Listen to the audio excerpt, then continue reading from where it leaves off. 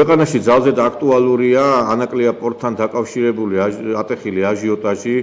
კარგად მოგეხსენებათ, რომ ქვეყნისათვის სასიცოცხლოდ მნიშვნელოვანია, რომ ანაკლიაში აშენდეს პორტი და სამწუხაროდ უკვე 2016 წლის შემდგომ ფაქტურად არაფერი არ გაკეთებულა ანაკლიაში პორტის შესაქმნელად და არადა ის გარკვეული ტენდერი, რომელიც გამოცხადდა და ის ხელშეკრულება, რომელიც დაიდო ხაზარაძესთან, მამუკა ხაზარაძესთან, ითვალისწინებდა იმას, რომ წესით 2016 წელს უნდა დაწყებულიყო სამუშაოები და ფაქტურად ეხა გემებიც უნდა შემოსულიყო. მაგრამ აი ამ ყოლაფრის მიზეზი გახლავთ ის, რომ ის ტენდერი, რომელიც ჩატარდა, ჩატარა არა ობიექტურად, ჩატარდა მიკერძოებულად და ამ ტენდერის ჩატარებაში გარკვეული სისხლის სამართლის დანაშაულის ნიშნები შეინიშნება. ვინაიდან აღნიშნულ პროექტში უნდა გაემარჯვა პიროვნებას, რომელსაც ჯერ კიდევ კომუნისტურ ეპოქაში აქვს გაკეთებული ბევრი რამ იმისთვის რომ ანაკლიაში პორტი შექმნილიყო. და ეს პიროვნება გახლავთ ბრიტანეთში მოღვაწე ქართული ბიზნესმენი თეიმურას ქარჩავა რომელიც გახლავთ კონსორციუმ ანაკლია პორტის და ეკოპარკის ხელმძღვანელი. ეს პიროვნება უამრავი ხელმოქმედების განმახორციელებელია საქართველოში. აქვს უამრავი ტაძარი აშენებული ქვეყანაში აქვს გაკეთებული ძალიან ბევრი რამ ქვეყნისთვის. და ეს პიროვნება რომელიც თამამად შეიძლება ითქვას რომ ორჯერ არის ფაქტურად რეპრესირებული საქართველოსი ხელისუფლების მიერ. ერთი სააკაშვილის დროს როდესაც მას მან იყიდა 3 მილიონად მიწები ანაკლიაში იმისათვის რომ იქ პორტი აშენებულიყო და მე სააკაშვილმა წაართვა ეს მიწები და შემდგომში კიდევ აი ტენდერი რომელიც გამოცხადა და ჩინეთის უმსხვილესი კომპანია ესე China Power იყო ჩართული ეს არის ფაქტიურად სახელმწიფო კომპანია იმიტომ რომ სახელმწიფოსთან ჭიდროთ არის დაკავშირებული ჩინეთის თავრობასთან ის დებდა 15%-ს და 75% უნდა მოეზიდა უცხოური ინვესტორი და სახელმწიფოს ფული არ მიდიოდა აი ამ პორტის შენებლობაში.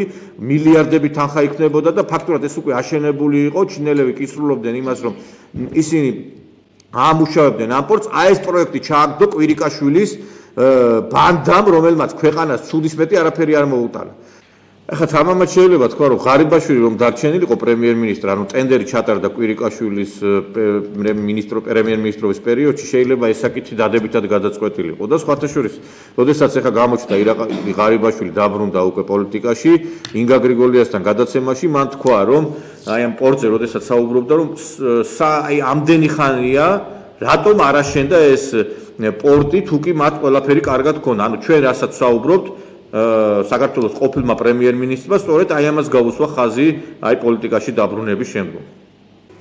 გავიდა 3 წელი. ეს პროექტი არ პორტი გაშენდა? მე კითხოსო. აშენდა პორტი. ბუნებრივი შეკითხვა რაც მე მიჩნდება. მე არ ვიცი 3 წელი გავიდა და როგორც მახსოვს 2016 წელს მოიგეს ეს ტენდერი და მე როგორც ვიცი და თქვენ ჟურნალისტი ბზანები და მოგიწოდებთ არა მარტო თქვენ არამედ სხვებმაც გადაამოწმონ რატომ მოხდა ვადების დარღვევა, რატომ არ დაიწყო მშენებლობა ამ პორტის?